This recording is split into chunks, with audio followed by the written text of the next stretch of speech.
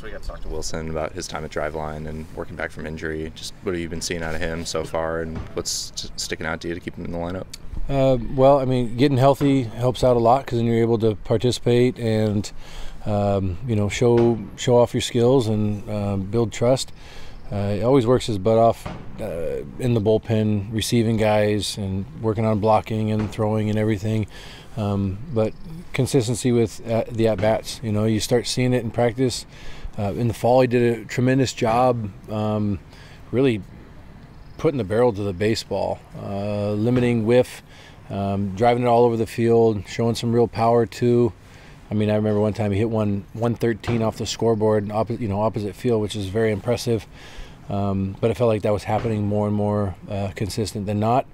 Um, and just made made the most of his at bats thus far. So he's doing a really good job. I mean, we're very fortunate. We have two really good catchers, um, and you know, I, at any point in time, those guys can be dangerous offensive weapons as well. So, um, you know, I, I think I'm in a puts me in a good spot because um, I know that whoever's handling the job is going to do a really good job, but it also puts me in a tough spot because you got two really good guys and you, you want everyone to play.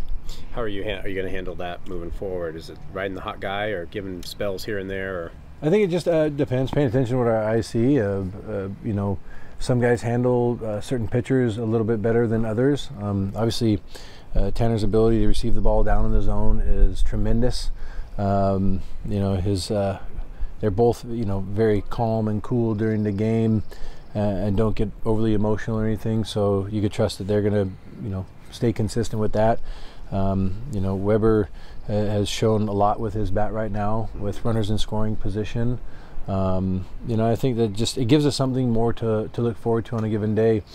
Hey, this is what we're going to work with when we're getting together with Tanner. Hey, this is what we're going to work with when we're with uh, Webby um, and keep just finding those uh, little things that we need to improve on. But um, it's tough, tough part to be a student athlete. You never know, like, am I for sure going to there or not? But I guess that's part of the chaos that we have to get accustomed to. Is just be ready for your moment, and you may be starting, but it may be for five innings. Mm-hmm. Right? This goes for any player, not just um, the catching situation. Um, it's if you're starting, you do your best for as long as you're in there. If you're coming out of the pen, you throw the heck out of the baseball until uh, door I come take it from you. Um, and so, you know, I just am building some mental endurance there, and I know what both guys really want to do. Mm-hmm. They want to win, and they're up for whatever is the best situation for that.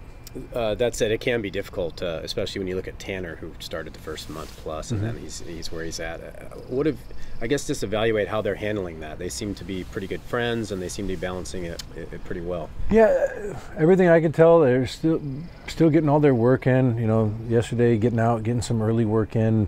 Um, you know, they play catch together every day. They do their defensive work together every day. Uh, it's part of being a catcher. It's saying no different than any other team I've ever been on. Um, not many people put on the gear and have to squat down and catch everybody and block baseballs off your chest, your forearms, your neck sometimes if you're really having a rough day. Um, and so there's a bond that's made from that. Um, so you got to be in each other's corner.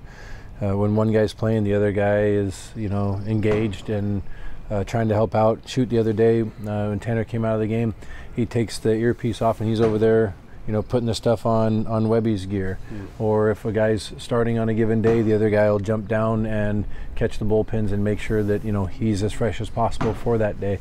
So um, again, when you have when you think less of yourself and then uh, I, I, guess in the am I okay? These guys both work their butt off and they both know they're in a good spot and so they don't have to worry about themselves as much. They can focus on the guy next to them and helping them, which huge part of catching focus on the guy on the mound, those around you.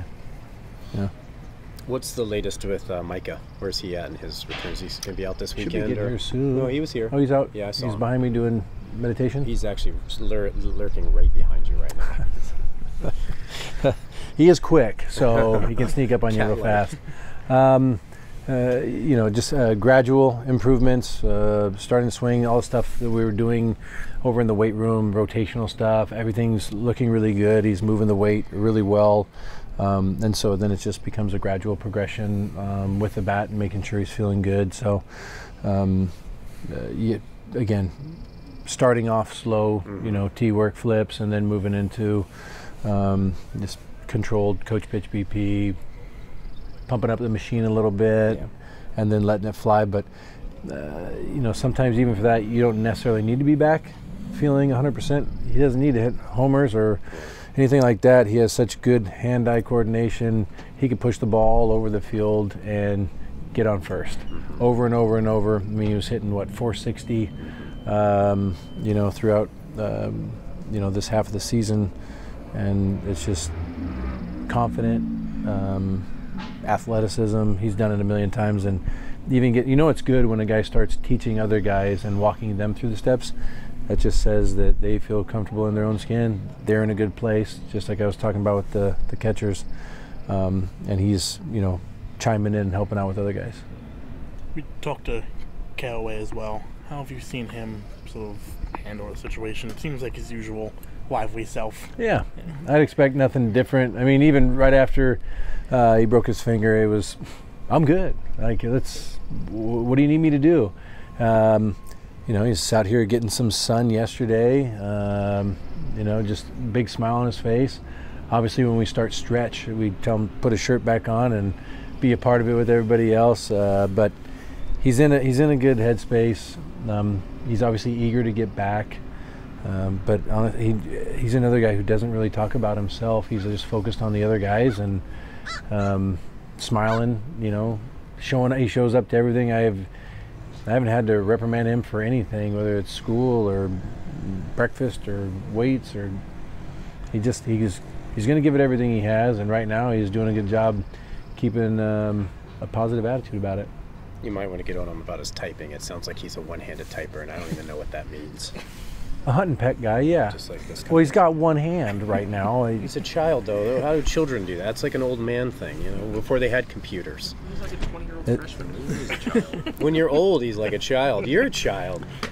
Is, that- is this why every time you write an article you have to use the voice to text, or is that how you do it, or is it? What's a computer? I'm What's writing an article next week. I'm going to put it out, but it's going to take me a week to type it up. Okay, well, uh, with Micah, uh, speaking of writing articles, sort of need to indicate what his status is. Is, this, is he doubtful? Is he available? Is it TBD at this point for the weekend? I would say uh, I would say probably not this weekend. Um, that, it- that would be, that would be my best guess. Okay. I would say just to be safe. I'm kind of uh, very hopeful for next weekend. That's Okay. where I'm sitting on it. But I do like happy surprises. So Mm-hmm. if that comes to a point where we get to uh, bring him, get him involved this weekend, that'll make me smile. I think it'll make a lot of guys smile. Brady said he was hopeful for this weekend. Is that pinch hit. pinch hit this pinch weekend? hit Pinch hit. Oh, he doesn't want to run. he doesn't want to go field. Everyone wants to hit. Oh, you got to be able to go defend too. Uh, I think he was planting the seed of just sneaking in early, getting at bats early. Oh, That- that was my I'm on on first now. Someone run for me, Yeah, yeah, please. Uh, we'll see how it goes. I, I do know he's um, been feeling really good, rotating. Um, you know, in the box. Uh, obviously, just working on his run progression as well. He looked good when I looked across the field. Him doing his stuff yesterday. Not that he's going 100% by any means. I think we're making sure he's not yet. But uh, I have a feeling he and many others are going to be. Um, knocking on my door telling me that he needs to play. It's go time. Yeah.